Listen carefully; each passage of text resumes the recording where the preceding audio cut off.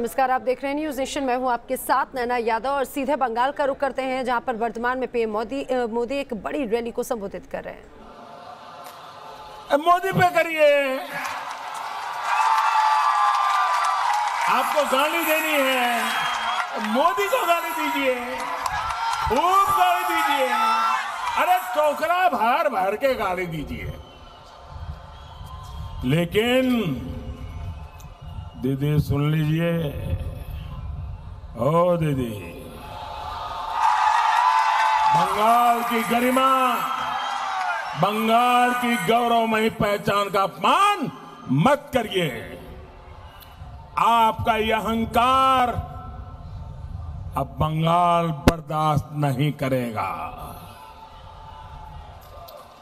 आपके तोलाबाजों आपके सिंडिकेट, आपके कटमनी सिस्टम को अब बंगाल कभी भी बर्दाश्त नहीं करेगा। और इसलिए बंगाल आज सोनार बांग्ला के संकल्प के साथ है। बंगाल को अब नहीं चाहिए दीदी का कुशासन, नहीं चाहिए। बंगाल को चाहिए आशोल परिवर्तन आशोल परिवर्तन। बांग्ला, चाइना, तृणमूलेर दुशासन। बांग्ला, चाइना, दीदी, भाईपोर हिंसार खेला बांग्ला चाय আসল পরিবর্তন বাংলা চায় বিকাশ বাংলা চায় শিক্ষা শিল্প কর্মসংস্থান বাংলা চায় নারী সুরক্ষা বাংলা চায় কৃষক সম্মান বাংলা চায় ভয় মুক্ত পরিবেশ বাংলা চায় বিকাশ বাংলা চায় বিশ্বাস বাংলা চায় বিজেপি সরকার বাংলা সরকার बीजेपी सरकार भाई और बहनों दीदी ने 10 साल तक मां माटी मानुष के नाम पर बंगाल पर राज किया है। लेकिन इन दिनों सभा में माँ माटी मानुष नहीं, मोदी मोदी मोदी मोदी करती रहती है। न माँ, न माटी, न मानुष, सिर्फ़ मोदी।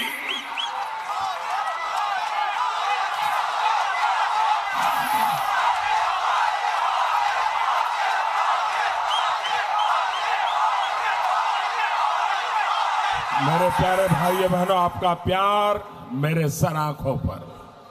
आपके आशीर्वाद, इतनी बड़ी तादाद में आई हुई माताओं बहनों के आशीर्वाद, ये मेरे लिए बहुत बड़ी ताकत है, बहुत बड़ी ऊर्जा है। मैं आपको बहुत बहुत वंदन करता हूँ, बहुत वंदन करता हूँ। भाइयों बहनों, इन दस वर्षों में बंगाल के लोगों की जो सबसे बड़ी पीड़ा रही है, उसकी उतनी चर्चा नहीं हुई जितनी की होनी चाहिए ये पीड़ा है बंगाल में दीदी का कुशासन। दीदी ने बंगाल में गवर्नेंस के नाम पर बहुत बड़ा गड़बड़ झाला किया है। बंगाल में जिसका जो काम था, वो अपना काम छोड़कर कुछ और ही कर रहा है। सरकार को, सरकार का काम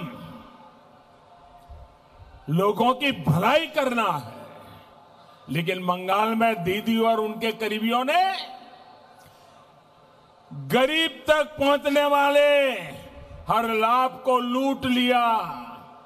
प्रशासन का काम है कल्याण की योजनाओं को तेज़ी से लागू करना। लेकिन बंगाल में दीदी ने प्रशासन को विकास कार्यों में रोड़े अटकाने के काम में लगा दिया। पुलिस का काम है कानून व्यवस्था का राज बनाए रखना। लेकिन दीदी ने पुलिस को पार्टी के काम में लगा दिया। तोलाबाजों, सिंडिकेट की सेवा में लगा दिया। बंगाल के गरीबों, बंगाल के मध्यम वर्ग, यहाँ के नौजवानों, यहाँ की महिलाओं, यहाँ के बुज़ुर्गों को, यहाँ के उद्यमियों को, व्यापारियों को, कारोबारियों को ममता दीदी ने अपने कार्यकर्ताओं के रहम पर छोड़ दिया। जन्मदिन मनाना है तो टीएमसी से पूछो। घर बनाना है तो टीएमसी को कटमनी दो। राशन लेना है तो टीएमसी को कटमनी दो। कहीं अपना सामान ले जाना है, अपना सामान लाना है तो टीएमसी को कटमनी दो। किसी को अपना सामान बेचना है तो टीएमसी को कटमनी दो। बंगाल की जनता से लूट कर दीदी के करीबियों ने बड़े बड़े घर बनवा लिए। बड़ी बड़ी गाड़ियाँ खरीद ली। दीदी, ओ दीदी। बंगाल के लोगों को अब लूटने नहीं दिया जाएगा।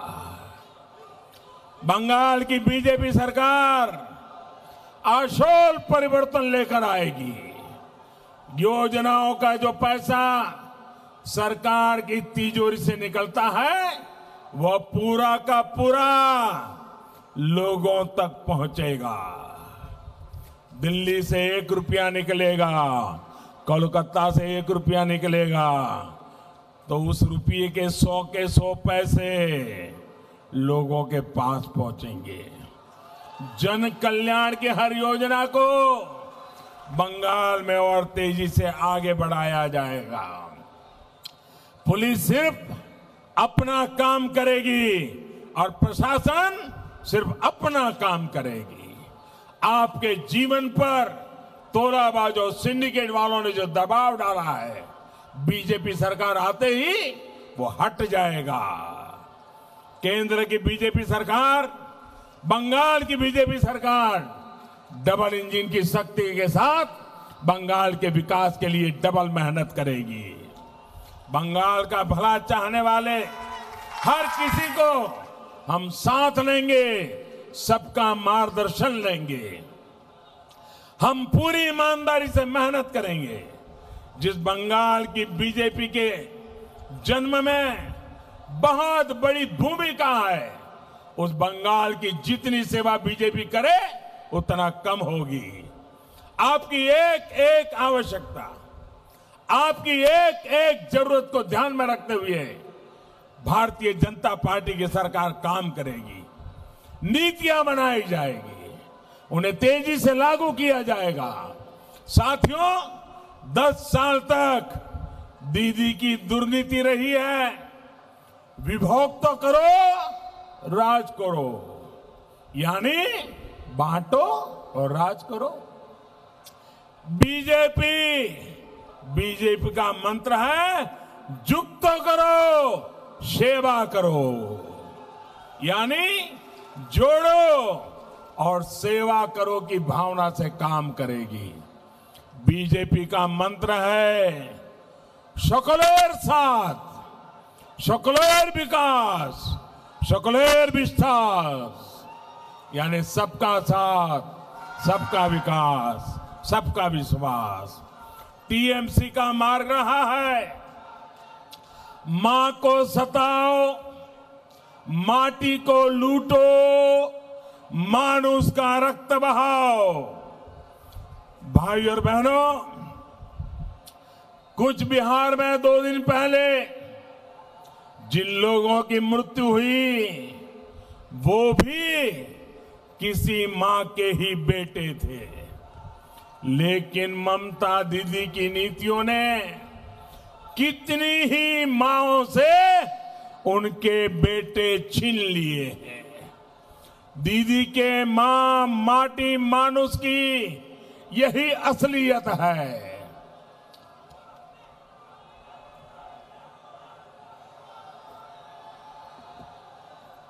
साथियों, इसी चुनाव के दौरान हमने शोमा मजमूदार जी को भी खोया है। दीदी के गुंडों ने बुज़ुर्ग शोभा मुजुमदार जी को इतनी बहरम रहमी से पीटा था कि आज भी वो तस्वीर आँखों से जाती नहीं है।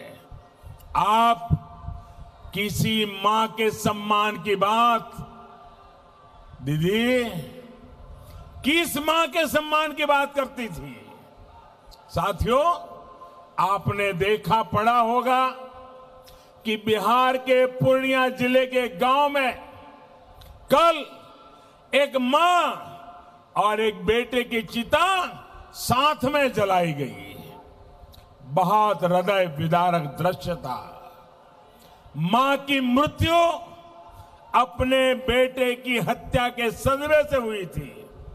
कौन था वीर जवान? वो वीर जवान दो दिन पहले अपने कर्तव्य का पालन करने बंगाल की धरती पर आया था। लेकिन यहाँ बंगाल में पीट पीट कर उस पुलिस अफसर की हत्या कर दी गई। माँ ने जब अपने वीर जवान बेटे का शव देखा तो माँ ने भी दम तोड़ दिया। क्या उस पुलिस अफसर की माँ? दीदी, क्या वो आपके लिए माँ नहीं थी? आप इतनी कठोर है, इतनी निर्मम है, इसका अंदाज़ा बंगाल की किसी माँ को कभी नहीं था। साथियों दीदी की दुर्नीति को यहाँ पूर्वा वर्धमान के कृषकों ने तो बहुत ज़्यादा भुगता है। डॉक्टर श्यामा प्रसाद मुखर्जी और बाबा साहब आम्बेडकर जैसे दूरदर्शी नेताओं के प्रयासों से देश को दामोदर घाटी जैसी जल विद्युत परियोजना मिली थी। वो चाहते थे कि वर्धमान के खेत सोना उगले। यहाँ जगह जगह शिल्प लगे। लेकिन उनका ये सपना आज तक सच नहीं हो पाया है। धान का कटोरा कहा जाने वाला हमारा वर्धमान? यहाँ के लोग आज मूल सुविधाओं के लिए तरस रहे हैं। आज़ादी के शुरुआती वर्षों में जो नहरें बनी, उसकी सही देखरेख तक यहाँ की सरकार नहीं कर पाई। नई नहरें बनाना कभी दीदी की प्राथमिकताओं में ही रहा नहीं। धान पैदा करने वाले किसान हो या आलू कृषक यहाँ हर कोई बेहाल है। ना सिंचाई की सही सुविधा है, न पर्याप्त मंडियाँ है, न स्टोरेज की सुविधा है और न उपज का उचित दाम मिल पा रहा है। आजकल आलू का सीज़न है तो स्थिति और भी बिगड़ रही है। बंगाल में कृषक खेतों में परेशान है। सिर्फ़ और सिर्फ़ दीदी का सिंडिकेट यहाँ खेती से कमा रहा है। कोल्ड स्टोरेज पर एकाधिकार से कमा रहा है। बंगाल में बीजेपी सरकार बनने के बाद ये सभी हालत, मैं आपको वादा करता हूँ भाइयों बहनों, ये परिस्थिति सुधारी जाएगी। गरीब किसान को भी कोल्ड स्टोरेज की सुविधा मिले, फ़ूड पार्क की सुविधा मिलाए, ये सुनिश्चित किया जाएगा। बंगाल में बीजेपी सरकार बनने के बाद यहाँ के मेरे किसान भाइयों बहनों को फ़सल बीमा योजना का ज़्यादा लाभ मिलेगा। बंगाल में बीजेपी सरकार बनने के बाद यहाँ सिंचाई परियोजनाओं में और तेज़ी लाई जाएगी। नहरों की क्षमता बढ़ाने का काम तेज किया जाएगा। किसानों को सोलर पंप, सौर पंप देने वाली कुसुम योजना हो, किसान क्रेडिट कार्ड योजना हो, ऐसी हर स्कीम बंगाल की डबल इंजन वाली सरकार दो गुनी शक्ति से लागू करेगी। साथियों, किसानों से दीदी की दुश्मनी का सबसे बड़ा उदाहरण है पीएम किसान सम्मान निधि पर बंगाल में रोक। दीदी, ओ दीदी। जरा ये तो बताओ, आपको किसानों से क्या दुश्मनी है? चलो, मोदी से दुश्मनी मान ली। किसानों से क्या दुश्मनी है? अरे, बंगाल के हर किसान के बैंक खाते में अगर मोदी सरकार सीधे पैसे जमा कराना चाहती है तो आपको तकलीफ़ क्या है? आपने ऐसा क्यों किया दीदी?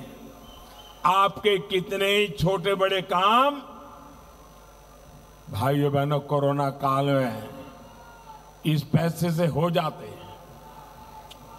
अब बंगाल में दो मई दीदी गई। जैसे ही दीदी की सरकार जाएगी, प्रधानमंत्री किसान सम्मान योजना को तुरंत लागू किया जाएगा। पहली ही कैबिनेट में बंगाल की बीजेपी सरकार इस पर फैसला लेगी। और दीदी ने बंगाल के हर किसान का जो अठारह हज़ार टक्का रोका है, कितना? अठारह हज़ार कितना? जरा ज़ोर से बताइए, कितना? कितना रोका है? अठारह हज़ार टका जो किसान के खाते में जाना चाहिए था, मैं आपको वादा करता हूँ, किसान के खाते में अठारह हज़ार टका जमा कर दिया जाएगा। साथियों, दीदी की दुर्नीति ने सिर्फ़ कृषक के हितों से ही नहीं, बल्कि यहाँ के हर परिवार की सुविधा और स्वास्थ्य से भी खिलवाड़ किया है। देश आज बिजली के उत्पादन में सरप्लस है, लेकिन यहाँ बिजली की नियमित सप्लाई तक नहीं मिल पा रही। यहाँ के बच्चों की, हमारी माताओं, बहनों, बेटियों की, इस परेशानी की दीदी को परवाही नहीं है। यहाँ के हमारे गरीब भाई बहन आर्सनिक वाला जहरीला पानी पीने को मजबूर है। लेकिन इससे भी दीदी को कोई मतलब नहीं है। दस साल दीदी ने गरीबी के लिए जो दिखावा किया है, वो अब देश के सामने आ रहा है। मैं वर्धमान की इतनी बड़ी मैं तादाद में आई हुई बहनों को, बेटियों को, और पूरे क्षेत्र के बहनों, बेटियों से एक बात कहना चाहता हूँ। आपके इस सेवक ने अपनी ज़िम्मेदारी समझते हुए हर घर पाइप से शुद्ध जल पहुँचे। इसके लिए बहुत बड़ी योजना शुरू की है। यहाँ पर रुक रहे एक ब्रेक के लिए खबरें आगे भी जारी हैं।